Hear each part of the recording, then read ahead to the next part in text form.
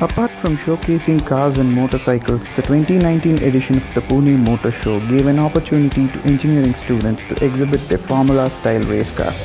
Several such cars exhibited at the event gave audience goosebumps with their roaring engines ready to hit the track.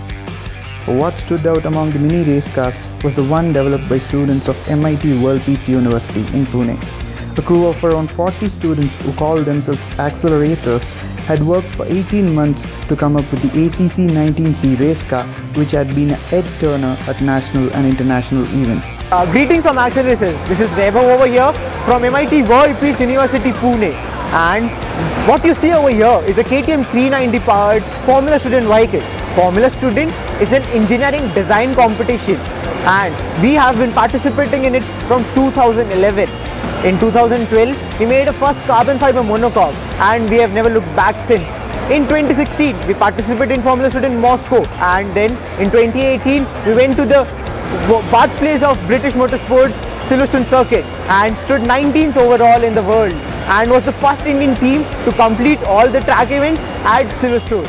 The crew spent six months each in designing, developing and testing the vehicle before launching it at the Kari Motor Speedway in Coimbatore for the Formula Bharat event. After a week of brainstorming, the students were split into seven groups to take care of aspects related to engine, transmission, steering and suspension, frame, bodyworks, electronics and manufacturing. Though one full month of the design period went in exams, the student entered the development phase as per the schedule. From building the skeleton to welding the tubes, the student readied their cars in another six months. In that phase, all measures for the safety of drivers were taken into consideration and the vehicle was thoroughly checked for any glitches.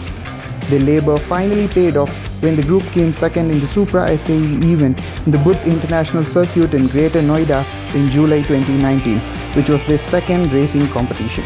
Acceleracers are now ready with another vehicle to showcase at the Formula Bharat event in January next year. So after testing the vehicle for more than 400 kilometers, the next vehicle will be track ready and we hope to get a podium finish on every competition that we participate in the coming years. Thank The next aim of Acceleracers is to manufacture an electric race car and enter the track with no roars.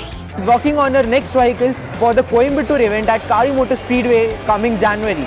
And after that, Acceleracers will be going to an uh, electric category and start manufacturing electric race cars. This will help the team uh, get into the industry that is currently evolving into the electric category and also help the environment to a very uh, eco-friendly in a very eco-friendly manner. The students are preparing the juniors to continue competing across the world with improved technologies and all they need is encouragement and support.